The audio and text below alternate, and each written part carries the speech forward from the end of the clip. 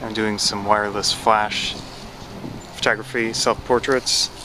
Over here I have one flash with wireless trigger. Move that around, around maybe in the back or the front to uh, get some fill from behind. And then here's the main light that I've been using.